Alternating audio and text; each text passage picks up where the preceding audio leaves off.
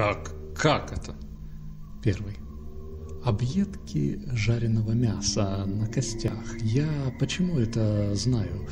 Валялся в одном случае женский сапог, по нему как раз мои Гавриловы опознали, что это останки их матери. Накануне отец повез ее в больницу, и оба исчезли. Вот те самые Гавриловы, это две девочки и их бабка, вернее, четыре девочки. Бабка произнесла слово «чучуны». Девки испугались, хотя, по идее, чучуны не должны знать тепловой обработки мяса.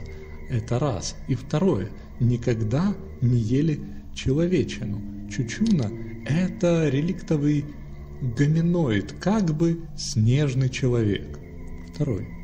Болтаешь, тут наукой доказано, нет их. Ну-ну и погиб этот Кухарев?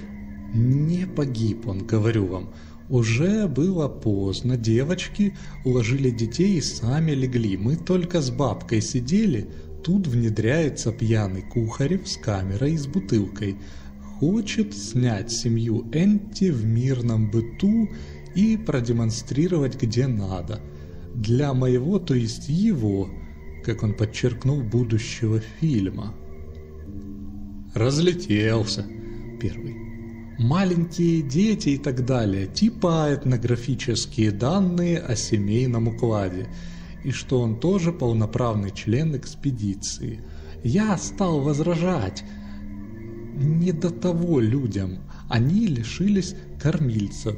Зимой исчезли мать с отцом, взрослые – трудоспособные работники.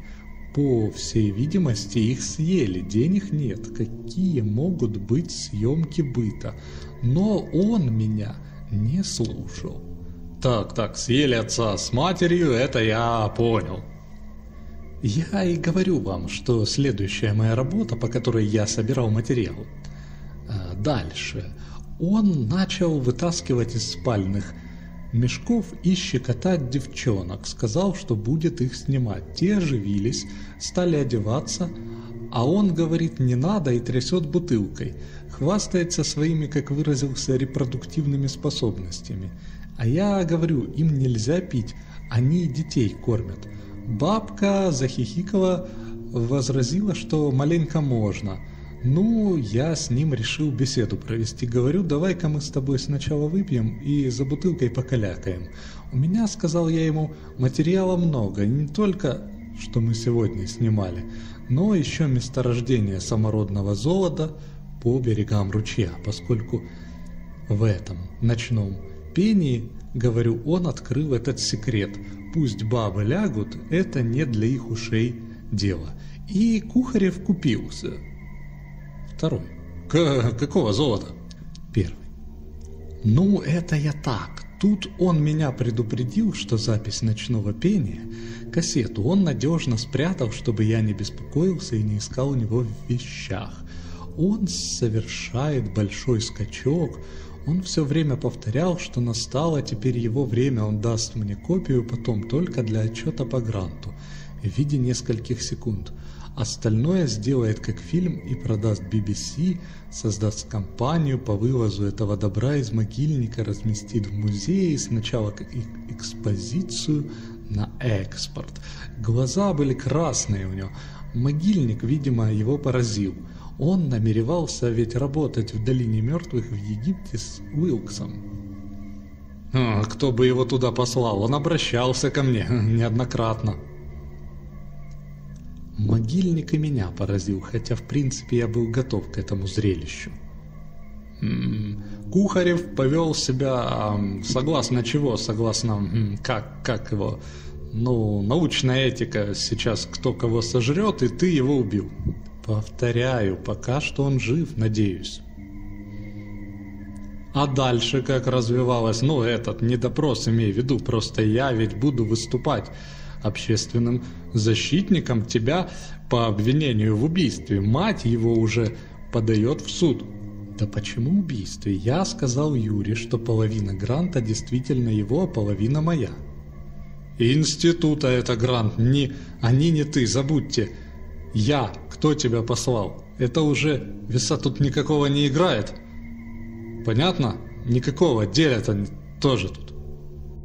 Он же перед тем уже набрался, как сука блох, его развезло, ну меня тоже, все-таки устали.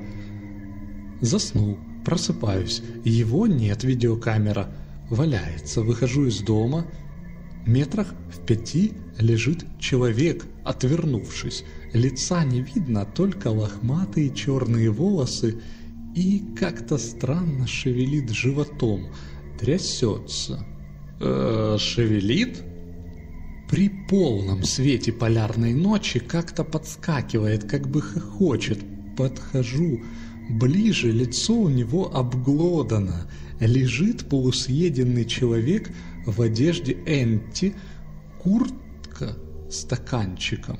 У них там все практически одинаковые. Подбираюсь ближе, вот, а он как дернется всем туловищем.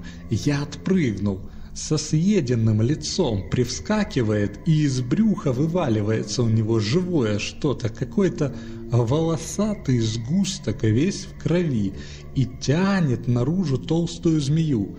Человек посидеть может в один момент. Ладно тебе. Оказалось, это выскочил из его живота маленький песец – окровавленный весь, и не змею волок, а кишку. Песец ее потянул, бросил и убежал. И странно, обычно собаки в таких случаях все здесь лают, а тут молчание, тишина. Фу, чернуха какая-то, терпеть не люблю. И ничего не понятно. Э, с пьяных глаз померещилось. Да тут не с пьяных. Пошел я искать Кухарева, но он в гостиницу так и не возвращался. Постель была завалена барахлом, как помойная яма, но на ней не спали. Я подумал, возможно, ночью этот бич, когда Кухарев вышел, на него напал, а Кух его убил – потому что у трупа была на шее как бы улыбка вот от ножа и смылся от страха от того, что наделал. Я стал у него искать кассету, все перерыл, не нашел. Потом пошел в милицию, заявил, что есть труп и что пропал мой участник экспедиции, а они мне сообщают, это известно, ждут бригаду из района и что недавно по говорушке по рации звонили из зоны, это объясняют вам зона смертников, туда свозят всех осужденных на пожизненное заключение. Это знаменитый так называемый Андрюшкин острог – и оттуда сообщают, опять-таки, мне, эндские менты Корякин и Винокуров, уже звонили насчет Кухарева, он у них в зоне и лично вызывает меня по этой говорушке. Но я был удивлен, если не сказать больше. Туда ведь по тайге идти километров 50, и это если по прямой. Но дороги такой нет – еще кое-где снег, местами болото, а по Юзине два часа на катере переть, но катер-то этой ночью не ходил, а потом Андрюшкин острог, ну что там делать Кухареву, вот тена. Хм, еще того лучше, зона смертников. Да, они там отбывают пожизненное, Серийные маньяки, убийцы, людоеды даже. Как он туда попал? Я стою, не знаю, что отвечать. В милиции, однако, все точно знали, что мне делать. У самих у них топить вездеход нечем, бензина не берут и сказали ехать вместе с актерами. Там, в Андрюшкином Остроге, запланирован спектакль для охраны и сотрудников. Актерам нанимают катер – ну ладно, хорошо, возвращаясь к артистам. Через три часа едем на катере.